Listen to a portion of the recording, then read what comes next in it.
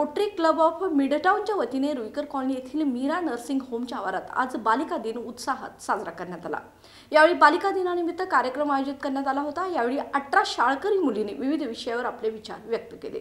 बालिका दिनानिमित्त आज शहरात विविध ठिकाणी कार्यक्रमाचे आयोजन केले असून रोटरी क्लबच्या वतीने आयोजित केलेल्या कार्यक्रमात अठरा शालेय मुलींनी माझे बाबा पर्यावरणाची काळजी जिजामाता अशा विषयावर आपले विचार मांडले. यावेळी सहभागी मुलींना रोटरीच्या अध्यक्षा भारती नायक यांच्या हस्ते भेटवस्तू देण्यात आल्या.